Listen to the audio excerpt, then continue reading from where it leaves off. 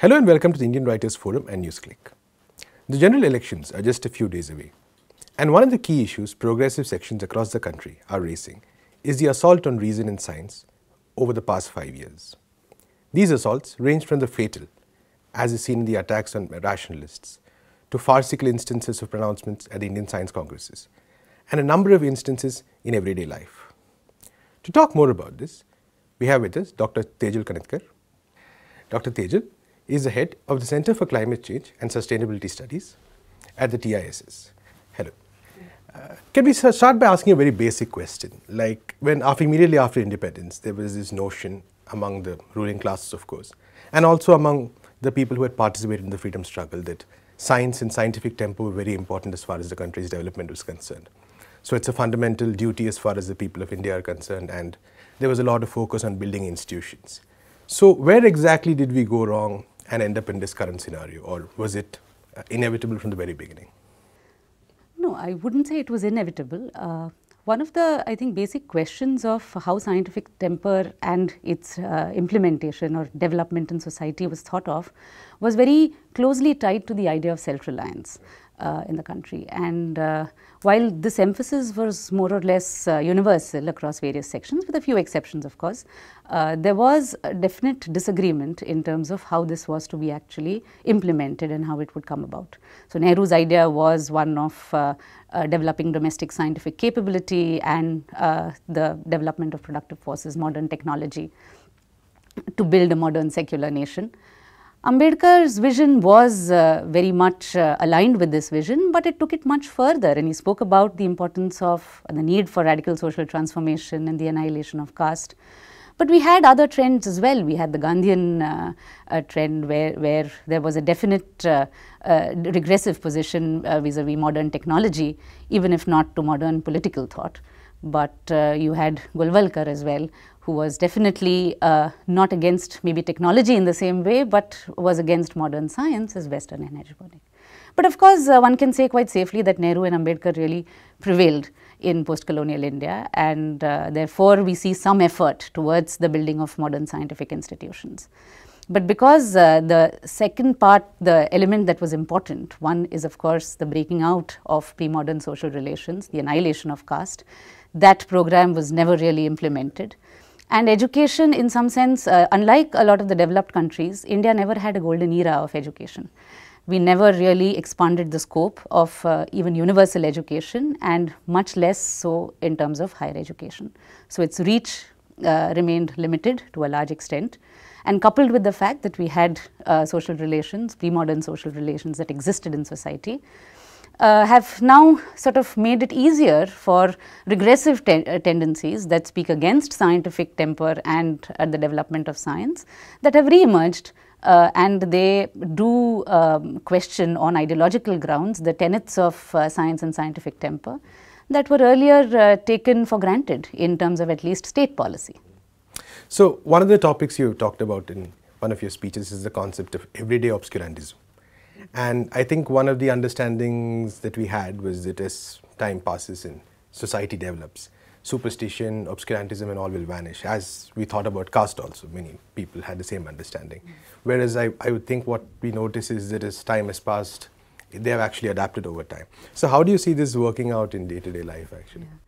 So one of the things I think is that uh, you know the development of science and to whatever little extent we have had some development of science doesn't automatically translate to the development of scientific temper. Correct. For that you need uh, material changes in society and there we have lagged uh, uh behind quite a lot and uh, we continue to, uh, and this is not just in terms of the masses which have very little, probably a lot of people have very little agency to combat uh, everyday obscurantism in their life and so even confront structures of power.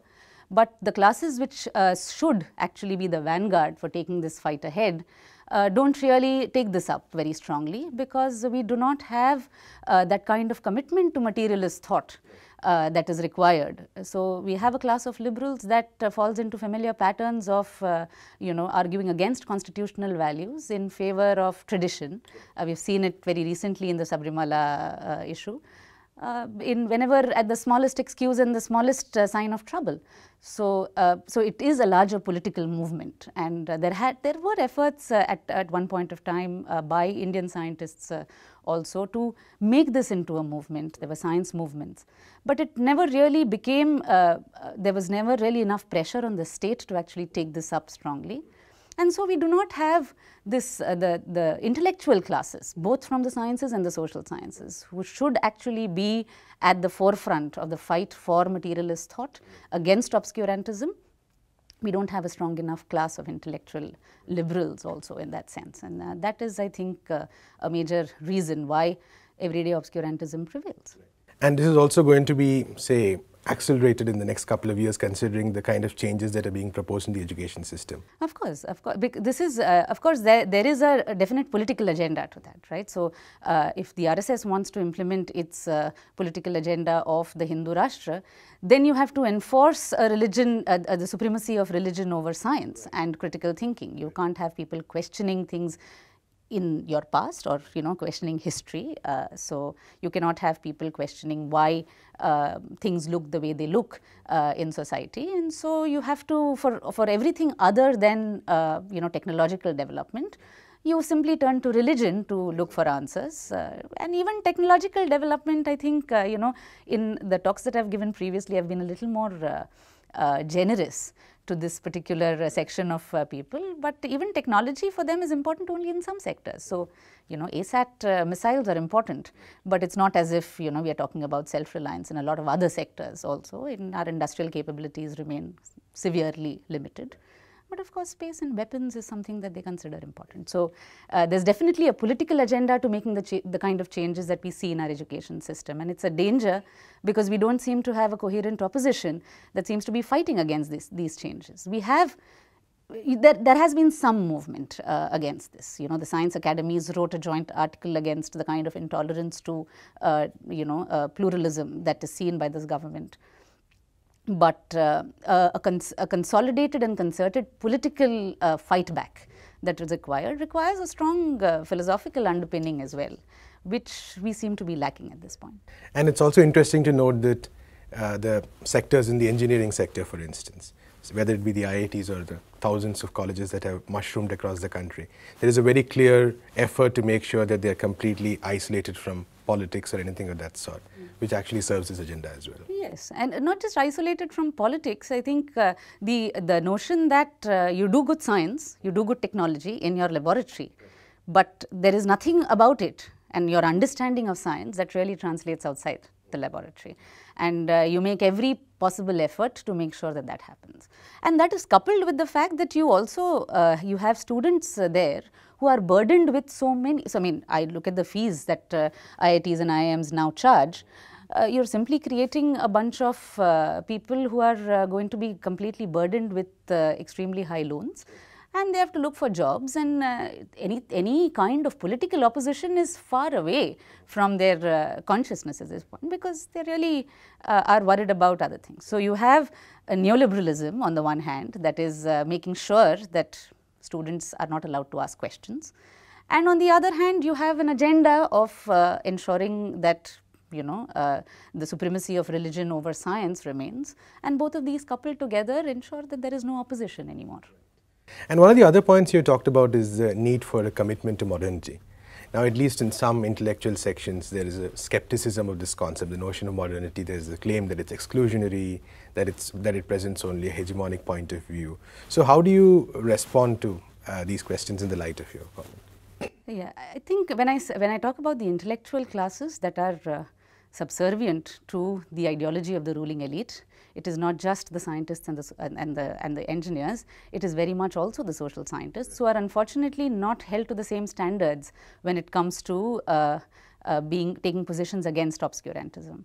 And they are free to be as obscurantist as they want, a lot of times with a facade of radicalism attached to it. But essentially their positions are highly anti-materialist and they aid the ideology of the ruling elite in, uh, in many different ways because if you deny uh, the fact that uh, one can actually objectively study society, then anybody's uh, position is valid. The, the perspective of uh, uh, a man who thinks that there is no patriarchy in society is, is as valid as the perspective of a woman who is burdened under its, uh, uh, under its weight. And this is probably a caricature and it's not always as uh, you know, openly or explicitly claimed as this. But uh, it is uh, uh, very serious because you are essentially confusing the appropriation of technology for profit as an attribute of technology itself. And it is nothing but confusion. And both, on the one hand, you have the glorification of tradition uh, uh, the glorification of obscurantism as tradition. On the other hand, you have the romanticization of tradition as culture and lived experience, right? And both of these aid the agenda of the ruling elite and uh, go against the, the, the idea of creating a just and equal society. And I think that therefore both are dangerous and they have to be fought and uh, um, and those of us who are really interested because the, the fight for uh, science and scientific temper is very much tied to the fight for justice and equality. And uh, if one has to really think about uh, uh creating that kind of a society, that kind of a nation, then one has to fight both these tendencies. Right.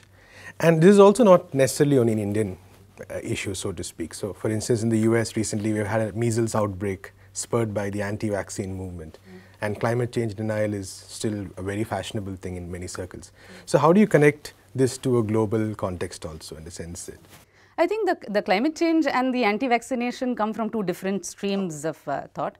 With climate change, uh, uh, you know, fortunately, I might say, there has been some, uh, because uh, uh, somebody who's as disliked as President Donald Trump is a climate de change denier, people who have would have otherwise been skeptical of the results of science are a little wary about uh, taking anti-climate change positions. But uh, so, you know, the, the, some revision of their positions uh, has come about in terms of you have to, because after all, what we know about climate change is because of science. Um, whereas uh, in the other case, it is, uh, you know, this entire uh, idea of the pharmaceutical companies as being really hegemonic and, you know, an in powerful interest group pushing vaccines onto people is uh, is very much obscurantism uh, wherever it is in the world. And you know unfortunately we are also prey to it in India uh, very much so. Uh, and uh, this is this is in in my most generous moments I can uh, maybe you know say that okay maybe this is this position arises from the fact that the promise or the emancipatory potential of science has remained just that. It has only remained a promise for a large majority of the population.